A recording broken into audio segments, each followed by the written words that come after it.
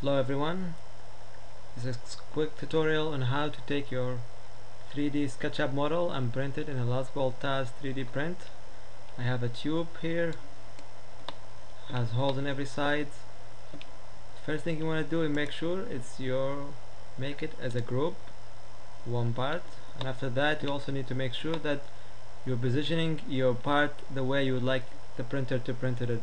Right now if I set this tube flat the printer will have a hard time printing it and it won't print correctly.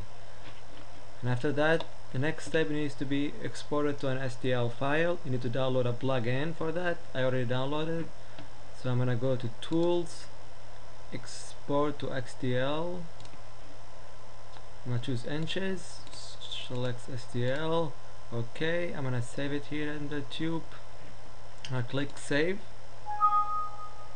you click OK.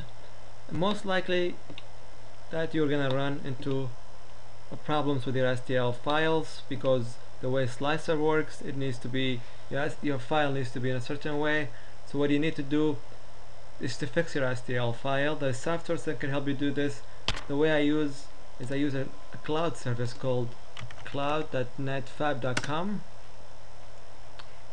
I'm to go to cloud.netfabb.com I'm going to choose the file that I need to be repaired save my documents. I will go to tube. Here's my tube that needs to be repaired. I'm going to provide them with my email address. Choose inches. I accept. And upload it to cloud. And, and it will take them after uploading about 10-15 seconds to fix your file. They will send you an email notifying you of that.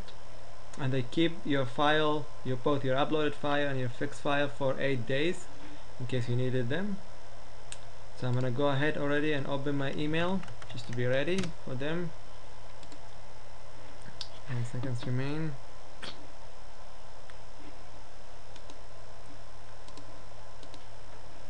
Alright.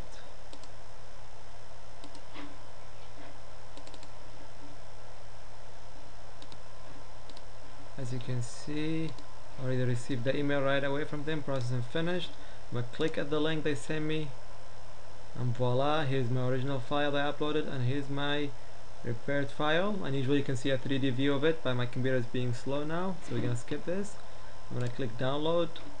I'm gonna download where I had my files tube.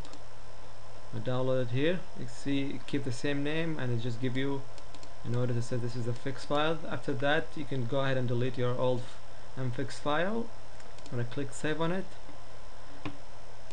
after that you need to go ahead and slice your program in order for you to be able to export it to G-code so go ahead and open slicer.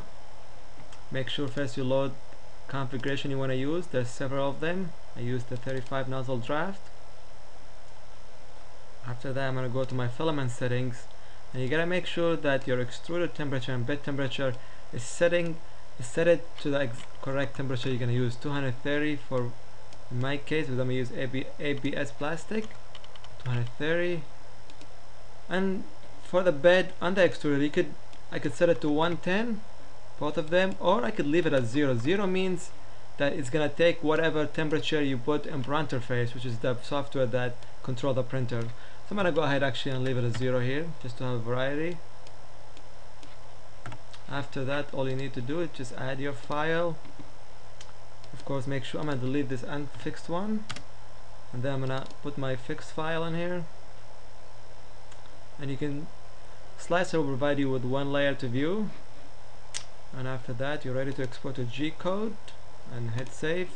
And this is a long tube. It's about 9 inches it's gonna take a while for it. Maybe like a few minutes. So we're gonna go ahead and wait for it to export to G-code. I'm gonna pause here alright slice I have finished exporting my G-code after that you can go ahead and minimize that or close it I'm gonna open Pronterface I already have it open here. I have two of them open. The first thing you need to do make sure you're set into the cor correct COM or port. Once the first time you hook up your printer your computer will assign you a port number. For my case it assigned me COM6 so I'm gonna go ahead and choose COM6 and connect to the printer. Once you connect it you, sh you should receive a message saying you're online the first thing you want to do also make sure you monitor your printer then go ahead and set your temperature your extruded temperature and bed temperature. I'm using ABS filaments so 230 degrees Celsius here and 110 here. Go ahead and set both of them. While you're waiting for your uh, extruder and bed to heat go ahead and load your file documents. Here's my G code. And yeah you can go ahead and click on it and then go ahead and go through the layers. There's 600 layers. Let's just have an idea